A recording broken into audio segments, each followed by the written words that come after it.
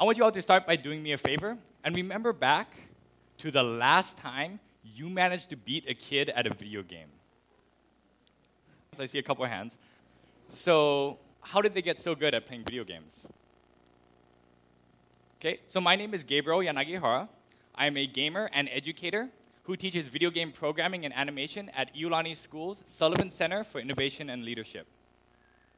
There, um, as a gamer and educator, I'm always super passionate about understanding how people learn to play video games. And in that process, I wanted to conduct an experiment to see if it was possible to understand the process which people are learning and see if it was possible to harness that towards a more academic subject. So, for my experiment, I chose the game Minecraft. And it's super popular amongst my students, but for the many reasons that I picked it, is that it's a huge cultural force. A recent analysis came out showing that on YouTube alone, Minecraft videos have been shown or viewed more than 47 billion times. For, you know, a sense of scale, that's more than 10 times the total viewership of all 49 Super Bowls combined. Minecraft is essentially digital Legos. It's our younger generation's version creating and being explore explorative in their learning. It doesn't hold your hand. There's no lesson plan. There's no instruction for how to play Minecraft. It kind of puts you in the game world, inside this massive world, and you have to teach yourself how to play. And that's exactly what my students do. They teach themselves, and they become such masters of it that they can teach other people how to do it, and often do. Can you imagine if all of our subjects were like that? Imagine if the entire subject of algebra just taught itself. I'm completely out of a job. So for this experiment, I wanted to take the learning and passion people have for video games and harness it towards an academic field. So I wanted to see if we could use the story of the Hokulea and the Worldwide Voyage. So um, for those of us on the mainland, that's going to be ancient Hawaiian history. So as an educator, I'm not a content area expert of Hawaiian history by any means. Um, but, as a, but I decided to become a facilitator to learning as opposed to the gatekeeper to facts and knowledge, where I had the designated answer key and all my students had to just listen to me. So to conduct the experiment, I got students together for seven hours on a Saturday. And I told them this challenge. So I want you guys to understand how you guys learn to play video games, and then I want you guys to survive in Minecraft on isolated islands, the same way that the ancient Hawaiians did. Then I want you guys to build and design your own voyaging canoes, the same way the ancient Hawaiians did. So we got together for the uh, workshop.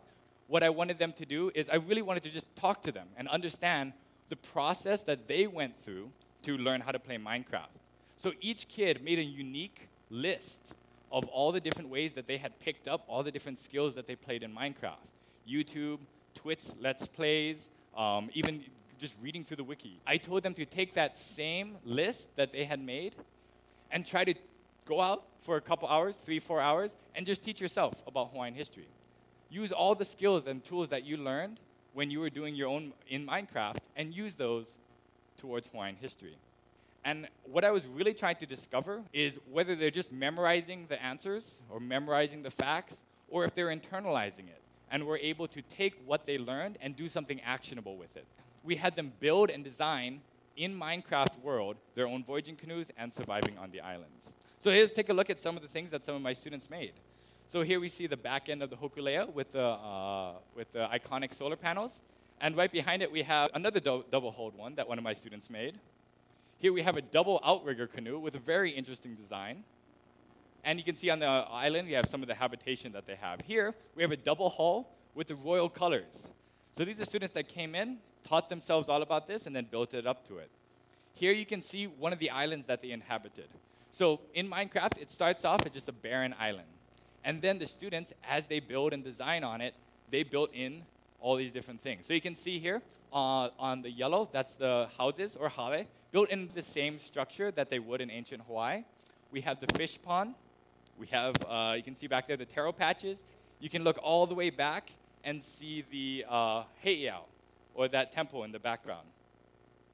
So what, this, what I feel the students took away from all this is they were able to take a copy of the game world with them and they were able to harness that power, that passion they have to teach themselves about something else. And what was great for me as an educator is seeing that they wanted to learn more about Hawaiian culture. So they're going to go off and they'll teach themselves everything that they want to know.